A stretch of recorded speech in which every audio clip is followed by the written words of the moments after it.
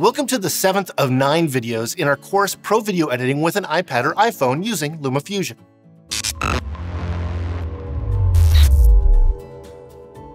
In the last video, we covered how to make color adjustments and add a LUT or style. We talked about adding effects, demonstrated keying and stabilizing footage, and explored the speed editor. A good video with poor audio is not a good video. In this video, we'll cover everything you need to know about controlling LumaFusion's audio functions. Everybody's got to start somewhere, and that's why we've made a list, a shopping list of the nine essential things that every beginner filmmaker needs. It's really easy to get. All you have to do is click on the link in the card there or a link in the description, and you can get it today. So here we are again on the iOS homepage, and uh, we're going to open up LumaFusion now. Now, today we're talking all about audio, and as we said in the intro, you can't have a video with bad audio. People just won't watch it. It's that simple. So you have to have the tools that you need to make your audio sound its best. So that's what we're going to show you how to do here today. So the first thing we're going to do is talk about how the tracks work. Now we can have layered tracks, uh, one on top of another, and you can see here I have a video clip and then two audio tracks. I can add more and just drag and drop. So let's go down to sound effects here. I'm in Storyblocks within LumaFusion, and I'm just going to grab this whip whoosh, and I'm going to place it down here, and you can see it's loading in, and now it's there. I can play it for us. Here we have, and I'll show you a little bit more of that video. That's a little tease. All right, so that's awesome. We can have multiple tracks, we can stack them, we can do everything like that. But how do we control them, right?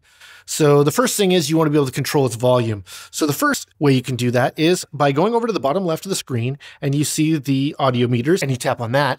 Now you have the audio meters, and this is going to allow you to turn up and down each individual channel. So if I wanted to turn down my music, which is right here, I can turn it down Let's go. I like to go 26, negative 26. Let's see what that sounds like. Motion happening here, and you'll get to see.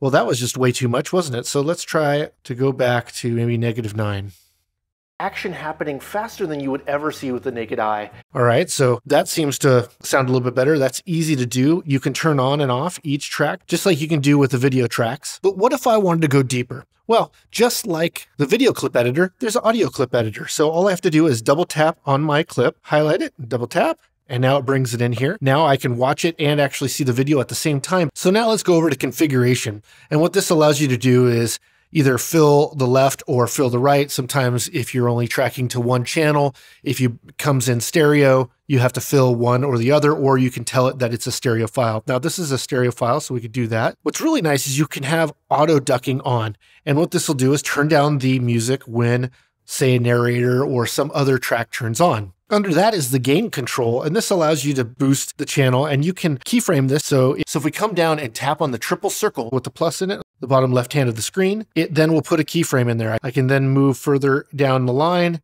and add another keyframe and maybe I turn up the volume and now I have a gradual fade up from one volume to the next. Now I'm going to undo that. That's just up here at the top of the screen and you can undo and redo, which is nice. But you can see just below that is pan. And now you can see, actually, just wanted to point out, see the little keyframe right next to gain? That now says there's a keyframe on it, just so you know for quick access that some adjustment was made there. So next we can change the panning, which is super helpful when you're doing dialogue and you want the sound to be coming from one side or the other. It's going to really immerse your viewer by being able to do that. So you can pan one of your inputs to that, or for whatever reason you want to pan. And again, you can also keyframe that. And then last is the graphic equalizer that's right here. And this allows you to have all sorts of adjustments to your track. I can really make some really dramatic modification to the graphic EQ of whatever sound source you're working on. Now I'm going to undo that because that's just silly. I did undo a bunch of times, but I also could have come over here and tapped on the undo right next to the graphic equalizer. So I'm going to hide that again. And we can now go up to the different offerings that are on the top right hand of the screen. If I press the question mark, it'll show us what everything is. Now let's go to distortion. And this gives us the ability to distort, pitch change, or add a delay. You're never going to know what you need, so it's always nice to have that in your back pocket. Uh, we could go to the next, which is these are preset graphic EQs and like high shelf and low pass filter. These are really helpful if you're doing just dialogue and you don't want any low rumble on it. Can really get rid of all the lows. Or if you're doing something that has a lot of lows and you don't want a high, you can put those filters on there. But as well, you can have a band pass filter, which allows you to take both the highs and lows down, and even down to a parametric EQ if you so need it. Moving on next, we're going to go over to the plugins. Now, this is really an interesting thing here. With LumaFusion, you're going to be able to add third party plugins to your toolbox. And it's really easy to find them. They're just AUV3 apps. And I'll show you by opening up the App Store. I already searched that AUV3.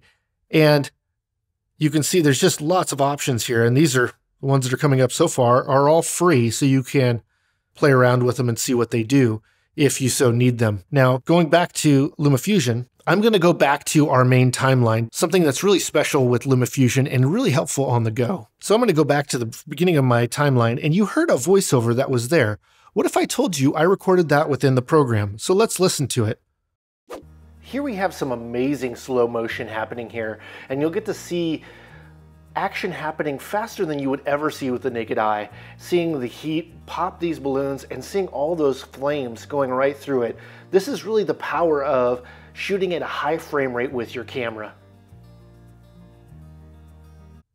Now that was really easy to do, and let me show you how. So we're going to go back to our, our beginning, and I'm going to get rid of this voiceover. Now I'm going to press the plus button, and you can see that I can add a voiceover. So when I tap on that, it brings up this menu here and you can see it's moving to my voice. Now I can go over to these three dots on the bottom left and change the input gain. I can also change the sample rate and if it's stereo or mono. And now you have this bar on the bottom of the screen that if you press the circle, it'll start recording. What it does is does a countdown for you and then you're able to record right onto track. And let's give it a try. So we're testing out our microphone on the iPad to see how it sounds compared to having a dedicated lavalier on me. But I'm talking over the slow motion of these balloons being popped by fire, and it's just really interesting and a very good use of slow motion. So now we can come over here and once I like what I did, I can press the green plus or I can press the play to listen to it. So let's listen to it back. So we're testing out our microphone on the iPad to see how it sounds compared to having a dedicated lavalier on me. But I'm talking over the slow motion of these balloons being popped by fire, and it's just really interesting and a very good use of slow motion. So I like that. Sounded actually pretty good other than the room echo I have. Let me press the green square with the check mark in it. And now it's right there. The nice thing here is if we did like say a dynamics processor, just double tap on it and it shows up right here on the bottom. And I'm able to then change how the compression is working on the voice if I wanted to make it, say, sound like a really thick broadcast voice. No matter what you do, always be making sure your audio is not distracting and doesn't take away from your video. No matter how many beautiful images you capture, having bad audio will always distract from it. In the next video, we'll learn that there's more to communicating with video than what is composed in the video frame we'll cover how you can create smooth titles and graphics in LumaFusion. Take this information and challenge yourself to use it today. Thanks for watching.